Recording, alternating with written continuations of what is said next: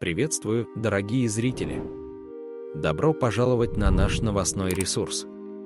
Перед тем, как начать, мы хотели бы попросить вас поставить лайк и подписаться на наш канал, ведь каждый день мы стараемся для вас. Приятного просмотра!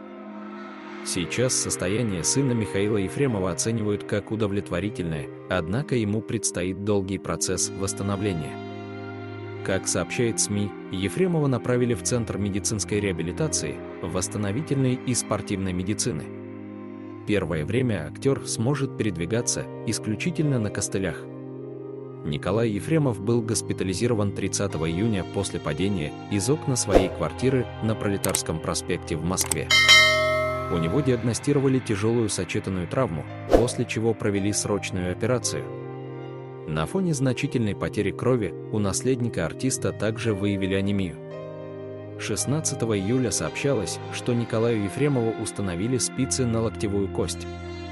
Источник в больнице также рассказывал, что Ефремов грубит медперсоналу, ругается и препятствует своему же лечению.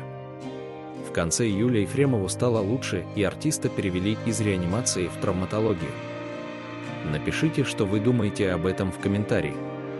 Также рекомендуем посмотреть наши другие ролики. Спасибо за просмотр!